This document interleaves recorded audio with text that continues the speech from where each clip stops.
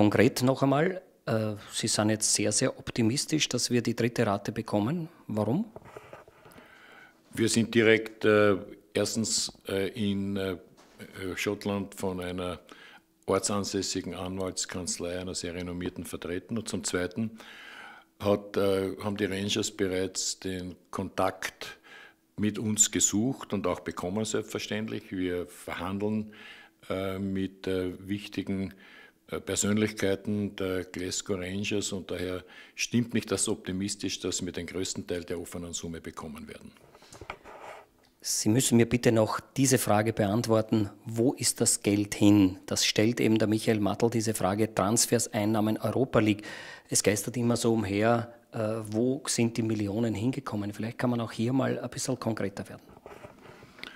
Also ich habe zunächst äh, schon festgestellt, aber ich wiederhole das gerne noch einmal, dass wir zu Beginn jeder, jedes äh, Budgets ähm, die Ausfinanzierung nicht sichergestellt haben und dass wir jeweils zusätzliche Einnahmen in der Größendimension von zwei bis drei Millionen brauchen, um ausgeglichen bilanzieren zu können. Äh, was die hohen Transfersummen äh, betrifft, und dafür bin ich ja eigentlich äh, den Mitarbeitern sehr dankbar, dass sie das eigentlich auch zustande bringen, so geistern in, der, in, den, in den Medien wenn man die letzten Jahre betrachtet, eine Summe, glaube ich, von etwa 17 Millionen immer wieder äh, in den Medien herum. Äh, wahr ist vielmehr, dass natürlich nur ein Teil dieser Beträge auch in die Vereinskassen fließen. Und zwar nicht deshalb, weil sich irgendjemand etwas abzweigt, sondern weil wir vertragliche Verpflichtungen haben. Das trifft oft zu, dass ein Spieler einen Vertrag nur verlängert, wenn er garantiert bekommt, dass er für den Fall eines Weitertransfers daran beteiligt ist.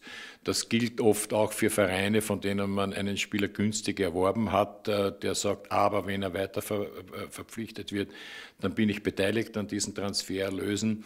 Äh, dann Provisionen an Spielervermittler, sodass ich feststellen kann, von den in den Zeitungen immer wieder herumgeisternden 17 Millionen sind dem Verein knapp 8 Millionen netto verblieben.